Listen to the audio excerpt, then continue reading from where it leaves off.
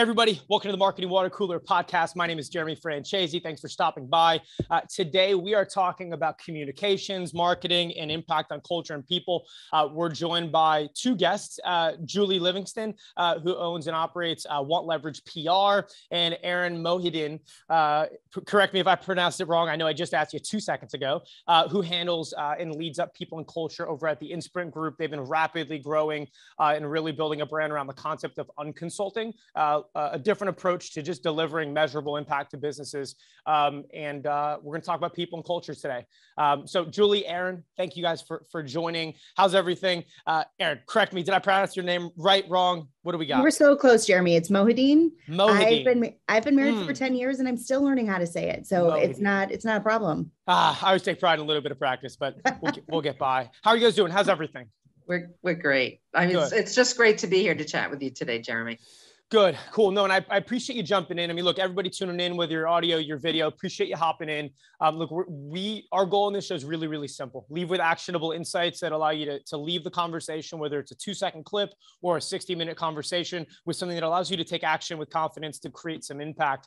Um, we're in a state right now where the average millennial is 2.2 times more skeptical of of, of uh, sales rep claims. They take that same skepticism into the job market uh, retention of of of, uh, of, our people is is increasingly more complicated, and uh, we're in a little bit of a different world. And uh, one of the things, Julie, you and I were talking about uh, separately, and it's been more topical, is the the conversation of marketing, developing a much closer relationship with HR and talent and recruiting, which uh, I think has been part of the conversation, but I think now it's more top of mind where it's we can't just put things on job boards and expect to get the best of the best um, or keep the best of the best. And so um, let's take the first couple of minutes, frame up the conversation. You both have really interesting backgrounds that have brought you to the point uh, today. I think it's helpful uh, for listeners and viewers to have context. And then we'll shift into some of the more topical things like how do we build uh, uh, in a distributed workforce? How does comms help build culture? Um, and things like that. So sounds good. Sounds great. great. All righty, let's roll. So, um, Julie, I'm gonna I'm gonna start with you. Uh, you've been in PR and comms for for a good while. You've experienced a lot when it comes to the digital transformation uh, and and going from your typical PR outlet where you're pitching a story to now it's a lot more socially native, right? You're trying to activate individuals in companies, um, not just a, uh, the big brand, if you want to consider it that. And I know on your website you talk about finding um, companies that that are uh, underdogs to that extent, right? Where you're yeah. I mean, I've I've been doing public relations and marketing marketing for more than 30 years. And I I specialize in working with under the radar companies and C-suite executives. So those that may not be as well known as they should be. And I help to elevate their thought leadership and their competitive advantage across media platforms, including LinkedIn. Um, I do a lot of work on LinkedIn for C-suite executives. Um, but I'm seeing now more than ever before that uh, I'm partnering. I'm being asked to partner more with the human resources department from my, at my clients' companies. I'm curious from that standpoint, and obviously that's what brings us today because you and Erin work hand in hand with with Inspirant Group what's the trigger event? Because there's there's two types of people that likely are listening. There's the ones that haven't connected the dots saying i should connect marketing and hr and comms and, and people together. And then there's one that are already doing it. And i'm curious what that tipping point is where they go oh that's the thing we need to do.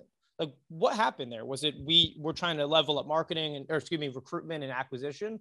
Or was it you had an idea and, and then it ended up working really well and sustained it well, I think the facts, the fact is, is that the great resignation is still happening. I mean, in 2021 alone, um, there was a major exodus of, you know, millions and millions of people voluntarily left their jobs uh, to look for other opportunities. And the things they were looking for flexibility, working from anywhere, working from home, especially for working parents, um, you know, more more fruit more time more life work life balance.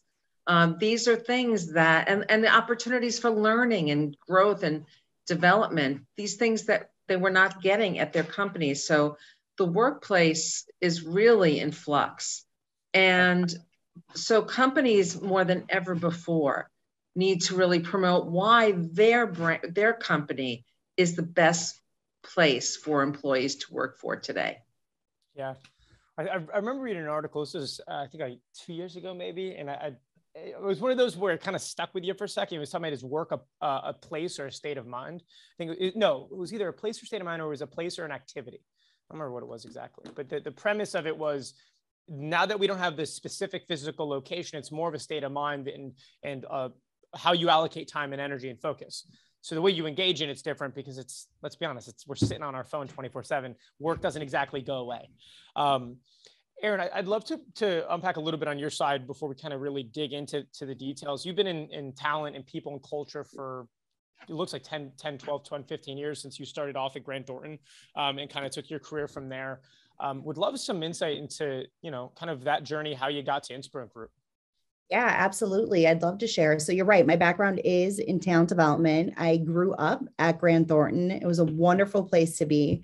Professional services. Um, you know, it's a it's a great. It, it, it was a great place to grow up. That led me to um, working in the legal field for a little bit. The great thing about talent development is that everyone everywhere needs it, right? It, it, it's transferable by industry and it's beautiful in that regard. Um, so I went over from Grant Thornton. I started working with a law firm. I was there for a few years because of some personal reasons. I, well, and actually meeting Meg Newhouse, who is the CEO of Inspirant Group. Um, she and I became colleagues, friends. She's a mentor that I will have forever now, whether she likes it or not. Um, and she and I started talking about consulting, and I was like, oh, should I do it? Should I not? I don't know. It's a big leap to make when you're you know relatively early in your career i've started a family um, but the long story short is me for some personal reasons i made that jump. Um, the pandemic hit two months later so i don't know if i would you know the timing is always is always interesting but it ended up actually working out great.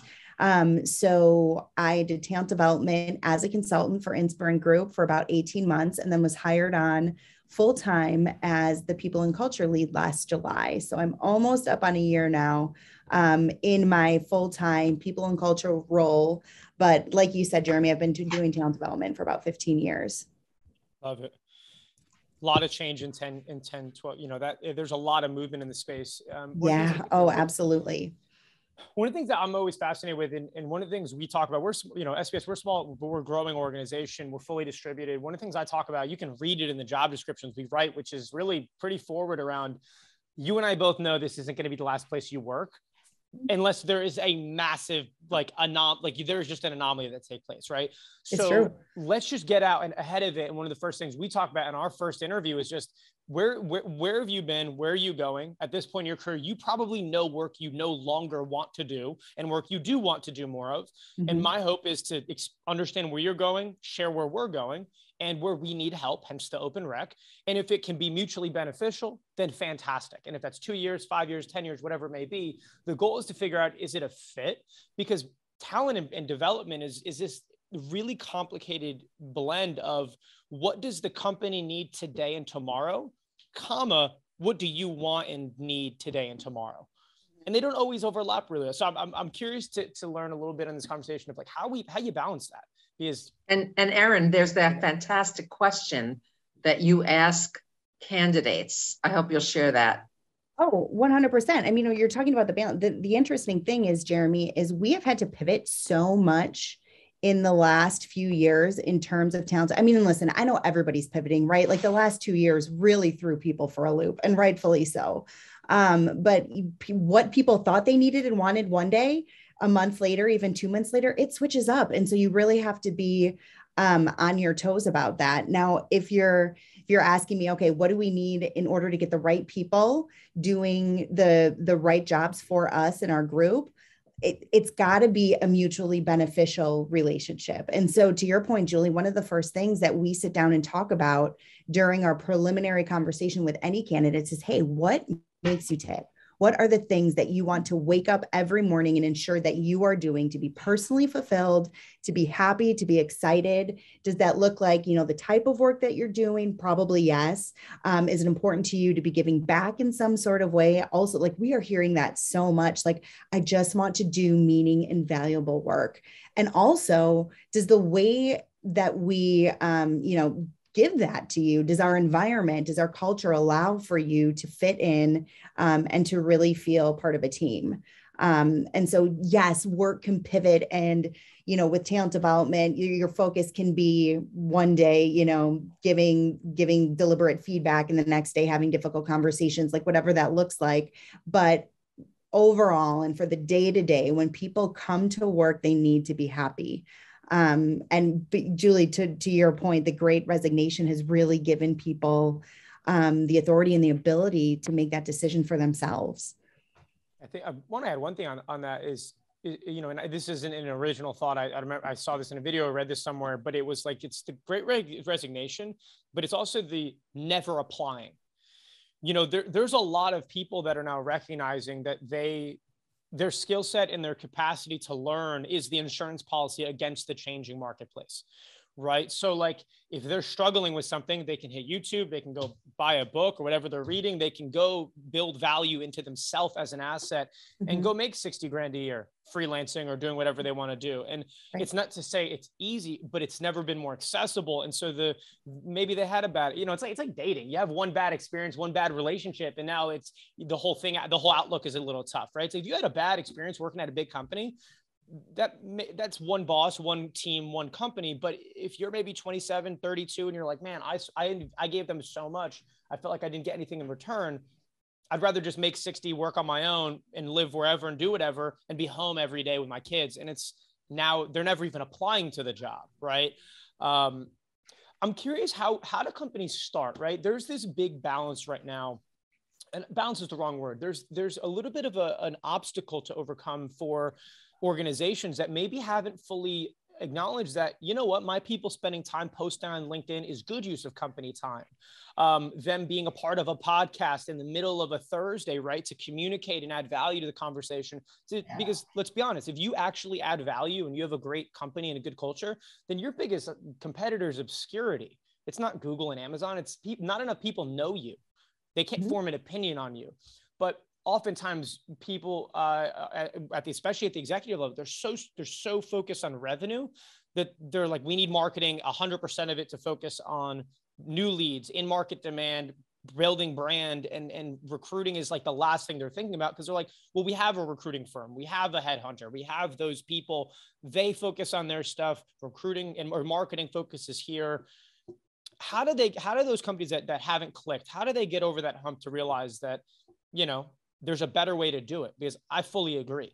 You know, if, if I could jump in, I, I do want to say that um, what what Erin and Inspirant Group are doing in in the in, in the interview process and the in the candidate vetting process is is so strategically right. They are sharing bits and pieces about their culture right at the very first touch point they're looking at every communications touch point as an opportunity to promote their brand in a very subtle kind of a way. So if I were a job candidate and I was speaking to Erin on that, you know, first uh, call or interview, and she asked me that question that she just shared about, you know, what do you, what what do you want to do every day? What makes you happy every day? I mean, that is a pretty profound question to ask a candidate. It shows that you care about their development and growth, that you want them to grow with the company, and that you're going to you're going to assist them in that process. From a communications perspective, you're kind of planting the seed in their in their mind about what a great place this is. So then they go off, they continue on with their day. And let's say that candidate then has a, a conversation with a friend. And the friend says so what how was your day? And and the candidate says i just had the most amazing job interview. Yeah. and again that that they start talking about how enlightened the first interview was you know how how it was so different. And that's how um that's how people like Erin and I are working together more and more so that we can frame and articulate those key brand messages and make sure they're folded in to every conversation at every touch point because that is going to get out there and um, through job candidates through you know it's just going to keep going and uh, build positive reputational benefits over time. I want to touch on that, right? So, so especially for people kind of tuning in, like that's that's not a passive. That's a that's a that's an active decision to make it a priority, and I think that's one thing that that people in organizations need to understand. Unless you have this culture of I'm a big culture of forgiveness over permission. Permission takes so damn long, it's crazy, right? Um, just roll with it. Most things aren't going to break things. And if it does and it causes a huge organizational problem, then I made a mistake building a business that was fragile, right? Like we need to be able to break things. Um, but that's not something that like a recruiter or somebody involved in that, in that interview process, or even somebody that's referring a friend to set the right expectations. That's something that is not a casual thing to drop in because most people are spending all of that time in that first interview trying to figure out are they worth the company's time right? They're like are you mm-hmm. good enough to get to the second phase? It's a little bit of an ego thing right? Of like well i'm super busy. Changing the conversation say what makes you happy what makes you want to get up i'm sure it's a very different thing what happens if they don't know how to answer it i wouldn't be surprised one since most people aren't asking that like what you know does that happen, Erin? Does that happen when that trips people up? You guys, you would be surprised. Honestly, you give them a beat to think, just to sit back and think, huh? You know, you'd be you'd be shocked at some of the some of the answers I've got. And some people are very um, they're a little more you know 10,000 foot in their thinking. Others are like, this is important to me. I need to be home by four o'clock to pick up my kids from the bus. But very rarely do people not know how to answer that question and i think it's because they know they have the agency now and and to your point jeremy about you know getting people in the doors to you know to like to to make the money to be the that comes after like you are not going to be successful in a business in in my opinion especially now if you do not have a band of people behind you who are happy and willing to do the good work right? The hard work the tough work the putting in the extra hours when when clients need it you don't have that band of people together. And that can only come from having that similar similar culture. And what better way to find out if these people share those values share those beliefs have that you know similar growth mindset than to start it within the first conversation? Yeah. it's a missed opportunity if you don't so let's let's step back a little bit because I, I I think this is helpful, right? Have a make a decision. That's that's my, what I'm hearing. It's make a decision. If it's important, do it. Don't don't hope your people adopt a philosophy of being give first and take second. Give them the platform. Talk about what makes you happy, what makes you want to wake up and go to work. Because if and that's the other thing. You know, I'm derailing my own line of thing, but it's like they're gonna know in 20 minutes of the job if it's true or not that like that's the thing for me that blows me away of how I've had a number of friends have the, a little bit of a bait and switch where they're offered a job, then they get a weekend and they're like, this is not what I signed up for. Mm-hmm. And it's astounding to me because it's like, what did you, ex- they're waking up at their apartment or their house, they're walking to their laptop and then they start work. Like they're going to immediately know because there's no way to distract from the truth there, there is no water cooler chatter where you're popping over to say, Hey, how is the weekend? What's going like you're on Slack, you're on Teams, you're on Zoom, you're on your calls, you're with your clients, you're working there, you yeah. know, and you got kids in the other room that are, that are, you know, you, you got the dog barking in the back, you have life happening around you. If the job isn't what you expected it to be, it's very hard to not immediately know that and it's hard to get rid of it you know?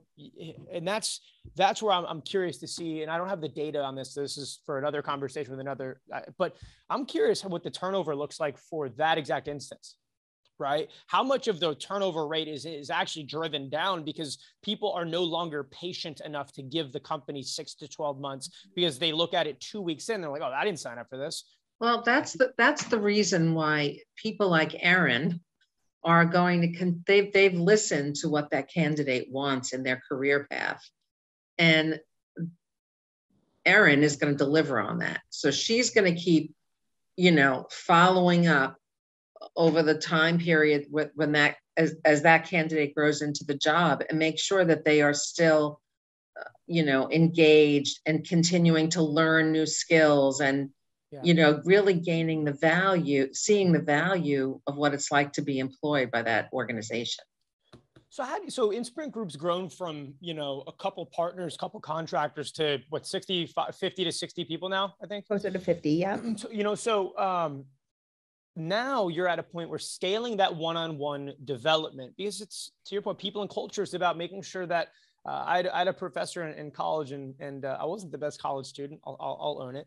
Uh, but one of the things that, that always stuck with me was the, the, the it was the framework around, uh, you know, green hat green means go you have to be able to move the masses but it's good to know if their favorite color is purple from a mm-hmm. framework of you got to drive the company something has to be yeah. able to be predictable enough so they know how to show up and execute but if you don't know what makes them individually move then yeah you might move traffic it might move the masses but you're going to have a lot of people taking the off ramp mm-hmm. so when you get to 30 40 50 people erin like how do you scale that individual development so that you're accounting for change, right? People yeah. have life events, what we want and need changes, and it's not always volunteered. Let's, you know, yeah. life events happen. Three months later, you're like, what happened? And their view on work changes. So I think some some professionals would love some some insight in a process. How do you scale that that when you're, you know, somebody said something in interview number one to, to like lose track of it is almost it's almost painful right because like i told you this is important to me but 18 months later we haven't talked about it how do you approach scaling the one-on-one training and development? It's, I really, uh, Jeremy, I appreciate the question so much because it's something we are currently going through, and it's it's a challenge, right? Like we aren't seven or eight core team members anymore. We are double that. And to your point, we are double the contractors. And I am having conversations with people all the time about how we continue to keep our culture intact now that we're growing into that next level. Um, one thing that has really helped me is we, Inspirant does not believe in an annual per- performance review.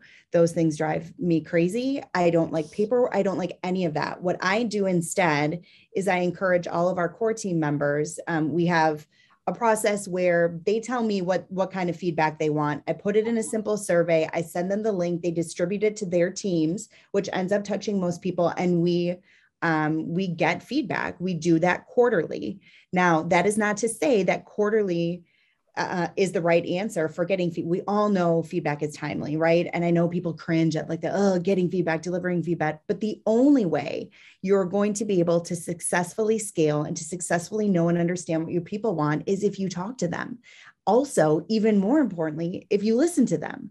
So I have a pulse on my core team. My core team has a pulse on the teams that they are working with. And we just wrapped up Q1 conversation stations where I have already implemented feedback that I have heard, you know, yeah, maybe secondhand, but still that doesn't matter. And it's had a lot to do with this growth piece. So, you know, people can, like I said, they can send their links, they can, you know, make sure they're checking in, but people know that's the only way you establish an environment. Like people can say all the time, my door's open, come talk to me, tell me anything. But by putting these quarterly touch points on, that's one way that I can help establish that. Um, and I hope that the message continues to say, come talk to me anytime. You have feedback for me. You think we can do this better? You feel a little slated over here? Something's changed with you? Just come talk to us about it. Um, so that feedback piece, like get rid, of get rid of the annual performance review. Nobody likes it. It's so dated. Nobody wants that. And just make sure that you really do cultivate that culture of people being able to talk to you at any time they want about anything they want. And the, the only other thing I'll say to that is that if you can be the gateway to, as your people and culture lead, to your partners, to your CEO, to your C suite, even better. Meg is so open about having people schedule time on her calendar and she's she means it you know um, people want to hear from leaders and the one of the one of the things that does distinguish us and i have heard this from different people from different um, organizations is that they have accessibility to leadership. So if you can yes to your people person but also to your leadership it will really really send you into that next level.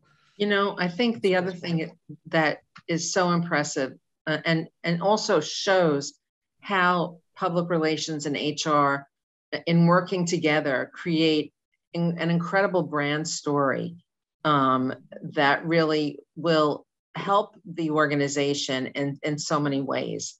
So because Inspirant Group does not do annual reviews, they're constantly talking to employees. And as Erin just said, she just finished first quarter conversations. Well, you've got feedback in real time feedback. And so she can respond to what people are, are needing, what they want. Uh, she can make changes. She can pivot in terms of programs that she's planning.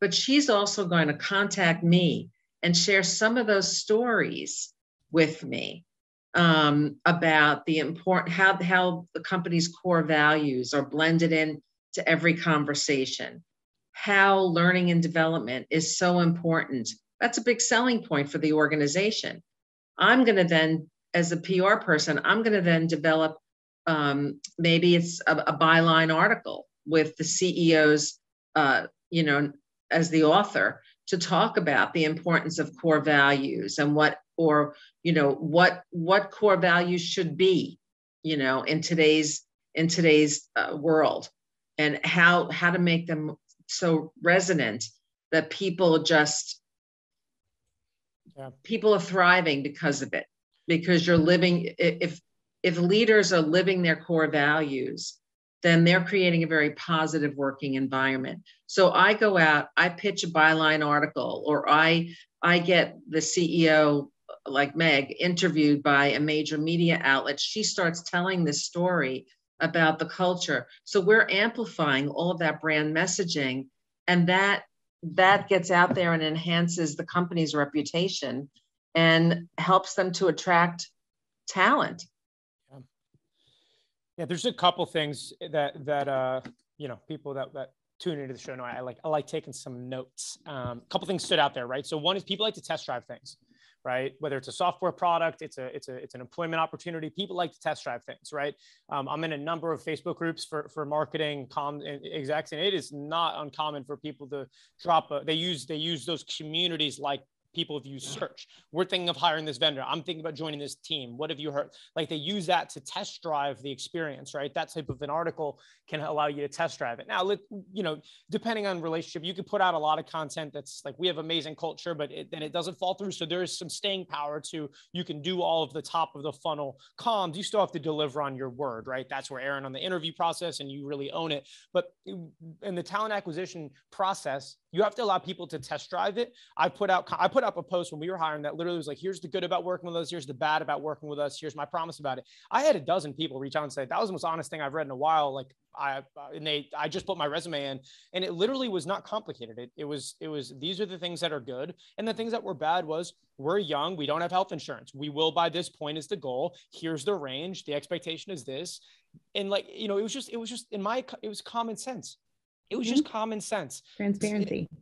Allow people to test drive it there. The other thing is validation and recognition, not from a standpoint of um, always giving people the pat on the back. It's the I see you, I hear you. Right. I think that's the biggest piece is people want to feel understood and they want to feel heard and they want to feel like they are connected in a sense of belonging to the company. Um, but it's hard to do that if you do it annually. So, so love quarterly, any cadence uh, and then that transitions into uh, what I what I look at is like the drivers of today are very different than drivers pre you know digit like GPS, right? That you know, I'll never forget when uh, you know you get to print out like a map quest to like hit hit sales routes and knock on doors, right? So, you know, you had to plan, you know, a couple miles out, right? Nowadays, if you drive with somebody that's only used a GPS, if they can't see 200 feet down the road, they feel like they're now driving a spaceship and they're leaving the world. Like they're like, I need to know exactly what my next turn is. Um, I think the same thing professionally, right? People want to know 200 feet at a time. Where am I going? When's my off ramp? When when am I joining? When am I merging? Like they're always used to seeing the journey forward, but in professional development, it's not as clear, right? Um, and that's part of where you need people internally that understand enough about you to know how to guide you in a moral way, where it's it's not manipulative, but it's truly at their advantage while being cognizant of what the company needs. But it's giving people the ability to play 200 feet at a time. You know, um, I was talking to a different client about this in the sense of a, lot of like, you know, miss, you know, uh, random ideas like let's do this, this, this around. And Julie, I'm sure you get that all the time with clients. Let's do this article, this blog, this video, right? Um, one of the things we always talk about is like the, the strategy is not for strategy's sake. It's because back to that driving analogy, you know, if you have all these awesome little ideas, it may play out, but if you go 200 feet at a time, like a, if I'm going from DC where I am now, you know, I might end up in Seattle because I went 200 feet at a time drifting instead of hitting San Diego like I wanted to. You want to be strategic in your communications because you want everything to link back to it, to to to what your business goals are. Um, I, I must say that one, you know, one of the one of the most underutilized platforms for uh, telling the story about company culture is LinkedIn. And it's a great place for uh, uh, leaders to share real stories about what's happening, what they're observing, the good and the bad, um, with with their followers and with with the public about their culture, about challenges they're dealing with, employees with HR issues, whatever it is, with growing their business um, you really can develop, you can really attract a lot of different audiences to your organization that way, whether they be, you know, job candidates, investors, uh, members for the board of directors, strategic partners, just by telling your story um, and sharing the things that you're dealing with as a leader on a daily basis. Um, I know, um, I know, Erin. Erin has used LinkedIn as a platform to talk about how she works with, you know, employees on learning and development issues and how she's addressing some of the the challenges um, to so that she could keep employees in their positions and keep them happy, but keep them growing and provide exciting opportunities for them to continue learning and, and expanding on their skill set. I think there's a huge opportunity right now for um, it goes back to being heard, seen, and, and, and, and recognized in that sense of there is no digital water cooler right now, right? Like LinkedIn is, Twitter is. We'll see if Elon Musk buys it, takes it private, if that changes it. um, you know, but but uh, one of the things I've started looking at, I'd love your both of your take on this because I think it's something that's been kind of renting space in my in my brain for a while now. Is um, we do uh, like a does it serve us type of review as a team where we look at the recurring meetings, the tools and resources, those types of things. And it's it's not like overblown. It's just okay. These are the the five technologies we use to to task management, communications, whatever it is does this serve us is it distract does it enable you to do better and if if we have enough majority on no then we get rid of it. If we like it, we double down, right? Um, same thing with like recurring meetings and things like that that are baked in the schedule. Like, does that meeting on that recurring basis add us, add to the value, add serve us? If it doesn't, get rid of it. Like, everything is is a human being making a decision away from being better, right? Um, so so let's just do it. Um, but what what came from that is is I kind of started realizing that um, most of the communication is nonverbal no tonality, no body language, right? It's even Zoom's a little bit there, right? Not everyone's a video call, but a lot of email, a lot of chat, a lot of text. Um, when you've never met the people you work with, uh, and and most com is, is chat based, you lose a lot of that that uh, I don't know that that special thing in my opinion that is what builds a relationship right? You can, I can text and chat with people all day, but sometimes you get a five minute phone call together. Like I'll have people call and say, Hey, like I, I want to give feedback on this piece of creative, but you know, I don't want to sound like a B or I don't want to sound like an A, right? Like in that chat, uh, what do I do? And so, you know, we basically, I did a survey of everybody uh, that was like, what were the questions, concerns, and things you had in the first 90 days and built and treated the employee like a customer. And we built a full content library to support it. Here's how to handle conflict. Here's how to handle this. Here's the tools we use for this. Here's our philosophy on meetings. Here's how we do the, and it was one of those things where it immediately created some movement, but culture, attracting talent there's there's a current moment in place where how we communicate is really important you know you know well i think you know uh, erin can explain. I mean inspirant is a, a remote first company. Right. So although they do you do get together uh, and have in-person meetings and events every so often um, most people are working remote all the time. But right. they yet you they have fostered a really tight-knit community um, and a bond between employees, a high, very high level of collaboration and engagement. Uh, Erin, I don't know if you could talk a little bit about how you do that. Yeah, absolutely. Are you guys familiar with the what I the, the golden rule? Treat Unpack. others how you want to be yeah. treated. So Yes. my favorite thing, and Meg will say this too, there's a new rule in town. It's called the platinum rule. Treat others how they want to be treated. And I think Love communication is a huge part of that. It takes very little time to reach out to know and understand. Well, I'll say I say now very little time as we're still a relatively small organization, but even you can do this during the onboarding pro- process. What, how do you most like to be communicated with? Do you like email? Do you like Teams or Slack? Um, you know, the the chat on what, whatever anyone's using. Do you like a pick up a phone? Do you like a Zoom call? Would you rather meet for a cup of coffee? How are you feeling? Are you comfortable? Um, I think the more that people know and understand, and yeah, it gets to be a lot of folks, but that's what makes you stand out. How others want to be communicated with, it leads you to the most effective. I mean, collaboration, working relationship, but also, I mean, take it past that, right? At Inspirant Group, you will not, you, I mean, we are a family there. And I will say that, and you might roll your eyes, and that's okay. But I truly believe that. And I think it's because we take the time to get to know each other. Um, and once you really know and understand what your people care about, so th- whether it's communication, whether it's the fact that they, you know, they need to care for their elderly parent one day a week, whatever that looks like, once you know and understand what they care about, you can really work and adapt your your style to that, your company to that. That is what you know makes the culture what it is and it opens the door to communication right? It just makes it that much easier that much better that much more transparent. So I, I really think if you just take the time to know and understand how people best communicate what they i know that if i really don't want to hear from meg i email her and she will be the first person to tell you that. I need to call her i need to text her right? So once you know and understand that about people yeah you'll you'll be more effective but also it only it helps to build that culture too So how do you execute on that? I I couldn't agree more. I, but this is one of those those those obstacles and opportunities when it's effective that you know uh, we'll call it what it is an outdated executive team that's like well you know they just need to show up and work right.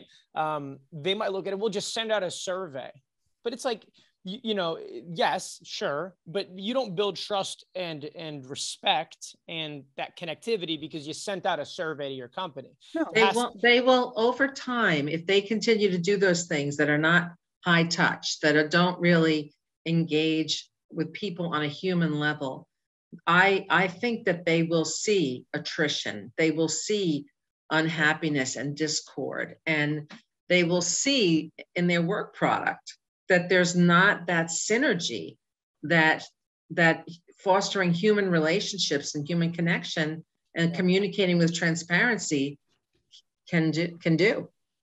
Yeah. It's small things, right? I'm I'm a big fan. You know, my team's probably like, yeah, we get it, dude. But like, I'm a big fan of those five minute touches. Like, I, I don't think most things need to be like huge, long meetings. Mm-hmm. Sometimes it can, or or this is one thing that you know, again, my take is like, it, every time you talk to somebody, it doesn't always have to be about work. Like every single time you call somebody, if you're like, how's that thing coming? What's happening? I'm not saying that shit doesn't have to get done, but call him and just, hey, I, I'm driving, or hey, I'm, I just wanted to take a second. We hadn't caught up. I was thinking about you. How are you? Everything good? You need anything from me? Like those little touches that just like makes it so it's not an input of time and an output of work. It can change Mhm. everything, in my opinion. And it's, but it's no different than how we treat friends. Like if, if a friend called you and every time they called you, they needed something from you, at some point you'd be like, this ain't a good friendship. Right Yeah. you know and obviously the work dynamic is a little different a lot of money in play a lot of lot more risk if you want to call it that but i don't know there, there's the little touches that need to be scaled out you know it's not always the formal survey the annual performance review and also people want change at the speed of how they feel if you're waiting nine months for you know uh, why not promote them now right? Why not give them the raise now? Why not you know do whatever you're doing um, just because you're waiting until the year end to see how cash flow is right? You know like what what's the reasoning behind it? I think that's a big piece. So as we look as we look to kind of tie, tie some things up here in the next five ten minutes I, I'd, I'd love to to drill deeper into um, how what's that first step for pr comms marketing and head of people. Like if they go from nothing to something whether it's hey we want people to be more active on linkedin we want to start to, to understand our people better what does in from your your experience what does that first step look like to put it in motion as it is now a priority in the company? I think I really think that the the first step is first of all is to have to get together, to have HR and PR meet together and talk about company core values and make sure that those are very clearly stated. There should not be any more than what, Erin, three to five core values, yep. because otherwise it will be too hard for people to remember and carry out. Yeah. Um, I know Inspirant Group has three core values, and they're constantly being referenced. Um, you know, in casual ways and more formal ways. They're really embedded into the culture. And, right. you know, leaders really walk the talk. I mean, they really are, um, they really are living those core values. So that's the first, that's kind of a foundational thing, having the core values in place. And then we talk about what what the business objectives are through communication. What do you want to get across about about the, the organization? Um, and we start building out a strategic communications plan, you know, and and decide what avenues to take to get those um, to get that across. We we discuss and outline key messages. What are the main things that we want to say about this company, about this brand over and over again? Yeah. You know, in Inspirant's case, that it's a caring company, that you care about the greater good, that um, you're adding a more of a human touch to to management consulting.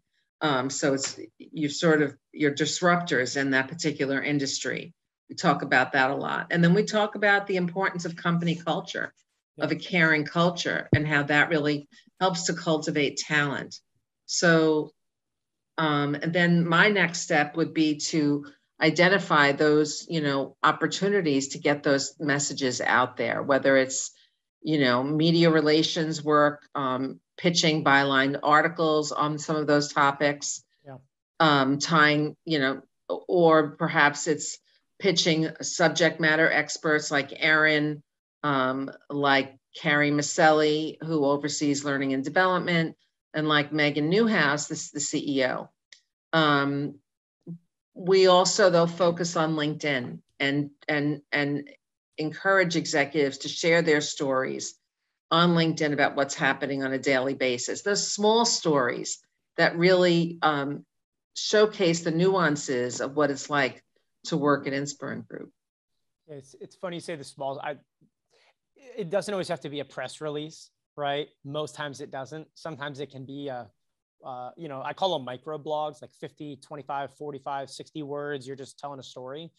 Um, one thing I want I want to pull out uh, from what you just uh, shared, Julie, to, to kind of drill it home is identifying values is is is is important. You also need to be able to look at those and then I understand how to implement it into an interview process to look for qualities or things that make it so that I mean the culture is um, the way I look at it is like the attributes of the people are the operating system of the business, right? So if you have people that are uh, caring and human centered and people first, and that that's how they operate outside of work, then you have a good chance of bringing in people that that fit that value, right?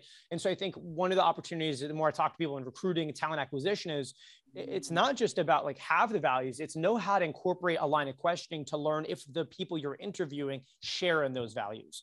So you know one of the things i'm very loud about in our first interview is like we have five core values that to be honest if you don't hit them there's no shot because it just won't work right? And it's like it's kind curious uh, uh, positive growth oriented and a, a, proactive communicator you're going to have unlimited pto you have all the freedom in the world so if i got to chase you to learn something it won't work i need you to be proactive if you're not kind and considerate there's no shot because we're virtual you have to have a thoughtful bone in your body right there's little things and so when we're talking on the front end of the interview I want to understand where you're going and if you share those five values. If I well, if you, you you ask those kinds of questions, Erin, don't you? That will kind of bring out. Sure, should yeah.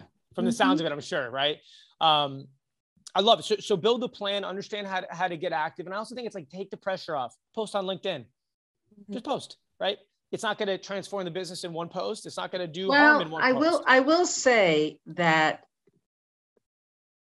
it, can't you you you need to approach your content on linkedin with a strategic eye mm-hmm. you don't want to just throw anything out there because you want it to be consistent in line with your core values with your key messages right. and what you really want to communicate it doesn't have to be a lengthy post but it should have the kind of it should carry a certain amount of value um, and consistency in messaging. Yes, absolutely. And it also doesn't have to take forever. I think one thing I'll, I'll, throw out there just as a two cents to any exec that's like 98% there. The 2% is like, I don't have time. I'll just have somebody write it for me.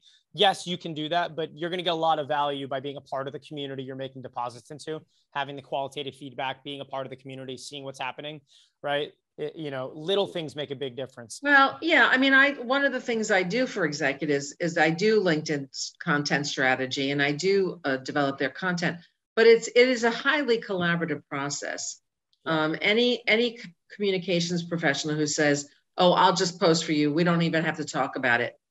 No, that is a red flag. Exactly. You have to really you have to develop a rapport with the executive and really get into their head and be able to yeah. articulate thoughts and ideas that sound like them totally. At, at, the least like i'm a we have we have uh we work a lot of private equity and, and, financial services. I always feel like they're always on the move. They're running around to different deals. So a lot of our operational relationships is transitioned from like don't wait don't wait to send me that email. Send me a voice memo. I can then send it transcribe it send it to my person that does qa they'll build a plan and just organize the thoughts if it's long but it's like speak it out talk it out. Like let me interact with the idea.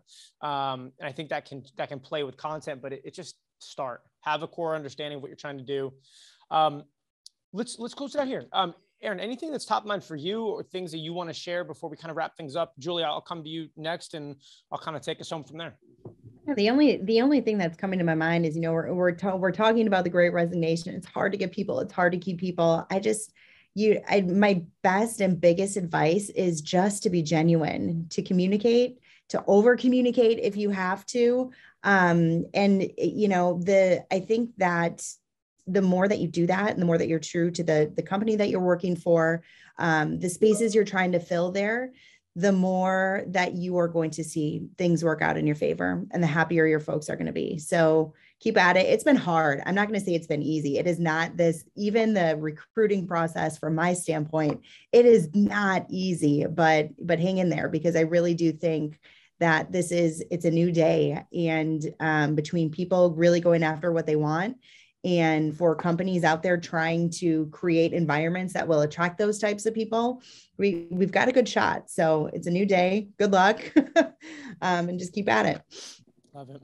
Julie your thoughts and and i'll say that you know companies um, i encourage companies to connect the public relations marketing and hr departments there is a huge opportunity for you to enliven and to tell a, a cohesive brand story when those two areas are working hand in hand. And you're missing an opportunity if that doesn't happen, because that message can really be a key recruitment tool during the great resignation and attracting talent and getting your story, the stories that you want to tell out into the public domain. 100% agree. Couldn't agree more. Uh, most people are not ready to instantly quit their job and start somewhere new. Your ability to create compelling content consistently and sustainably in the places they're spending time is your ability to let them test drive and interact with you, your values, your approach, and the way you do things while they understand more about who they are, what they want, and where they want to be. Um, marketing is very much so in the enablement process today, not as it's, it's uh, allow people to be well informed, to make great decisions. Um, and if you're doing those things, you're going to find great people. It's not easy. Uh, but but it's certainly a process to adopt. So um, Erin, Julie, thank you guys for, for jumping in, sharing some time. Everybody, uh, appreciate you stopping by and, and spending some time with us. A um, couple things that I would just leave to take away. Let them test drive what you're doing.